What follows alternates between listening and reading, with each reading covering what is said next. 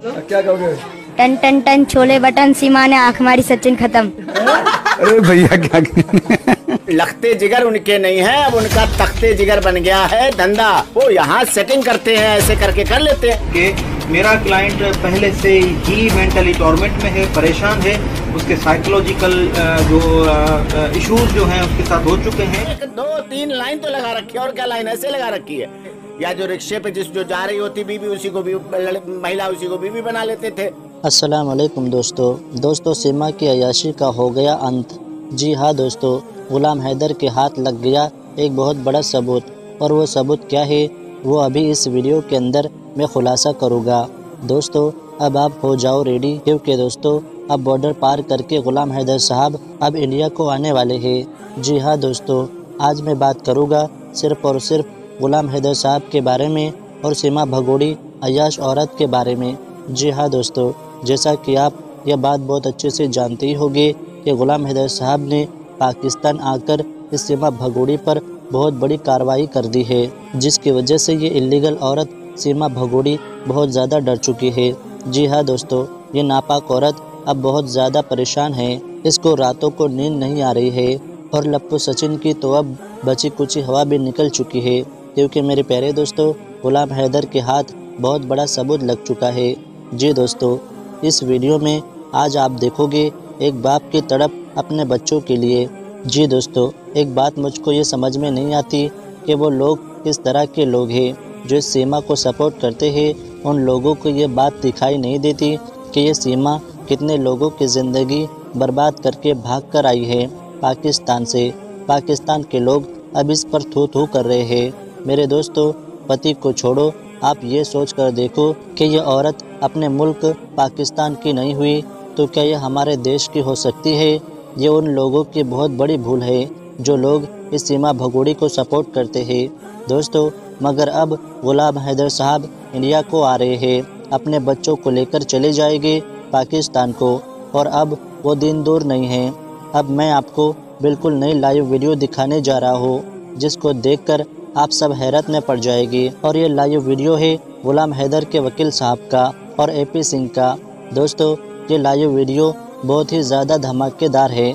मगर दोस्तों, ये वीडियो दिखाने से पहले मेरी आपसे गुजारिश है, आज का मेरा ये वीडियो पूरा आखिर तक ज़रूर देखना। और अगर आप मेरे चैनल पर नए आए हो तो चैनल को सब्सक्राइब ज़रूर करना। साथ ही साथ इस वीडियो को ज़्यादा से ज़्यादा लोगों तक शेयर करना। चलिए दोस्तों, सबसे पहले आप ये वीडियो देख लीजिए। फिर आगे मैं आपसे इस टॉपिक पर बात करता हूँ। तलाक नहीं हुआ था। बच्चे मेरे हैं लगते जिगर हैं मेरे बच्चे। वो लगते जिगर उनके नहीं है अब उनका तख्ते जिगर बन गया है धंधा। रिक्शा चला चला के पहले बीबियाँ को रखते थे या जो रिक्शे पे जिस जो जा रही होती बीबी उसी को भी महिला उसी को बीबी बना लेते थे। रिक्शा सवारी को बीबी बना लेते थे। वो तो कैसे एक बना एक दो तीन लाइन तो लगा रखी है और क्या लाइन ऐसे लगा रखी है? तो बताती है सीमा सबके नाम भी बताती है सीमा को तो सबके पता है लिस्ट। चलने वाली सवारी थी उसको सेट कर लेते। अरे कमाल है यार ऐसे तो कर ली तीन करे कैसे कर ली तीन? और अभी कर ली।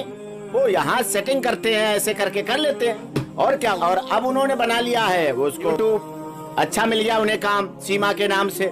सीमा के नाम से शोहरत मिल। ये गुजारिश करना चाहता हूँ और मैं इस वीडियो पैगाम के ज़रिए हिंदुस्तान की तमाम अदालतों को हिंदुस्तान के तमाम लॉ इन्फोर्समेंट एजेंसीज को हिंदुस्तान की तमाम जो भी एजेंसीज हैं, हिंदुस्तान के जितने भी लॉ के डिपार्टमेंट हैं और हिंदुस्तान के जितने भी शहरी हैं, हिंदुस्तान के जितने भी शहरी हैं, उनको मैं ये मैसेज देना चाहता हूँ कि मेरा क्लाइंट गुलाम हैदर उनको आपका एक वकील साहब ए पी सिंह साहब, वो थ्रेड इशू कर रहा है धमकियाँ दे रहा है और उसके लिए नाजेबा अल्फाज जो है वो इस्तेमाल कर रहा है।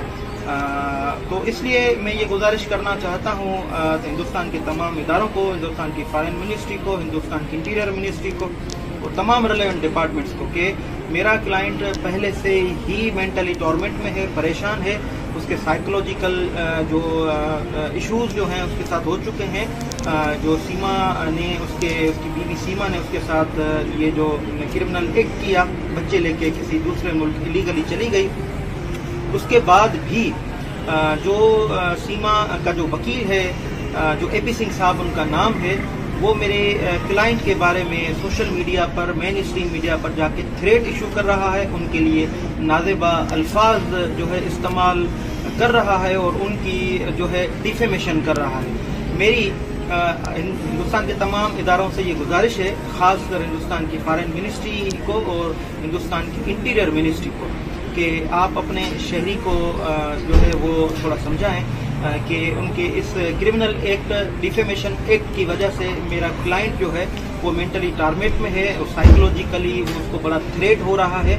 सोसाइटी में भी उसकी बड़ी डिफेमेशन हो रही है, मुख्तलिफ़ तरीके से वो कोशिश कर रहा है कि उसको नुकसान पहुँचाने की कोशिश करें। तो मेरी ये गुजारिश है कि आप अपने शहरी को समझाएँ और हिंदुस्तान की बार काउंसिल को बार एसोसिएशंस को हिंदुस्तान की तमाम मौजूद जज साहबान को मैं ये गुजारिश करता हूँ कि आप अपने शहरी को वकील को सोशल साइट्स पर मेरे क्लाइंट के लिए नाजेबा अल्फाज इस्तेमाल करने से रोकें उनको डिफेम करने से रोकें उनको जो है थ्रेट देने से रोकें ताकि मेरा क्लाइंट जो है मेंटली टारमेट से बाहर निकल सके। आ, मेरी इसके साथ हिंदुस्तान के तमाम शहरीों से भी गुजारिश है कि काइंडली आप जो है गुलाम हैदर की सपोर्ट में भी खड़े हों ताकि ये जो इंसानियत का जो केस है, ये सॉल्व होने की तरफ़ जाए ताकि ये प्रेसिडेंट होने से ये बच जाए। क्योंकि अगर ये केस सॉल्व नहीं हुआ तो ये एक प्रेसिडेंट बन जाएगा और प्रेसिडेंट ये बड़ा ख़राब बनेगा सोसाइटी के लिए, हो सकता है फिर मुस्तबिल में ऐसे वाक़ात और भी हों। बस ये गुजारिश आप लोगों से करनी थी, एक मरतबा फिर मैं गुजारिश करता हूँ काइंडली हिंदुस्तान के तमाम इदारे इस मैटर को सीरियस लें और कोई जो एक्शन टेकन करें और सीरियस जो एक्शन है स्टर्न एक्शन है, वो ज़रूर उठाएँ ताकि ये जो केस है, वो सॉल्व होने की तरफ़ जाए और अब जो मेरा क्लाइंट है, उसके खिलाफ जो थ्रेट इशू हो रहे हैं डिफेमेशन डेफेमेशन जो हो रही है वो रोकी जा सके। देखें मेरा क्लाइंट जो है वो पहले से मेंटली टॉर्मेंट में है ऊपर से ये जो मेंटल कंडीशन इनके बयान की सूरत में आ, जो जारी हो रही है डिलिबरेटली जारी हो ताकि मेरा क्लाइंट को जो है नुकसान पहुँच सके। तो आपसे बस ये गुजारिश करनी थी कि काइंडली आप इस केस को जो है इस थ्रेड्स को रोकें। मेंटली टारमेट में जो लाने की कोशिश की जा रही है मेरे क्लाइंट को वो रोकी जा सके अपना ढेर सारा ख्याल रखिएगा, रोशन अली अजीम को इजाज़त दीजिएगा। दोस्तों, साथियों, जैसा कि आपने देखा, ये वीडियो मुझको पूरी उम्मीद है दोस्तों, आपको ये वीडियो बेहद पसंद आया होगा और आपको ये वीडियो देखकर पता चल चुका होगा कि ये कितनी बड़ी वाली झूठी औरत है और इसके पास बच्चे तो रहने ही नहीं चाहिए, क्योंकि दोस्तों, ये सीमा भगोड़ी बच्चों की ज़िंदगी बर्बाद कर रही है। दोस्तों अब गुलाम हैदर साहब बहुत जल्द इंडिया को आ जाएगी और अपने बच्चों को लेकर पाकिस्तान को जाएगी। क्योंकि दोस्तों यह अयाश औरत सीमा अपनी अयाशी के लिए अपने बच्चों की ज़िंदगी बर्बाद कर चुकी है। दोस्तों, आपकी क्या राय है इस वीडियो के बारे में? मुझको कमेंट बॉक्स में कमेंट करके ज़रूर बताना। दोस्तों, आज की इस वीडियो में बस इतना ही। मैं फिर मिलूँगा आपसे ऐसी किसी दूसरी वीडियो के साथ। तब तक के लिए अल्लाह हाफिज़।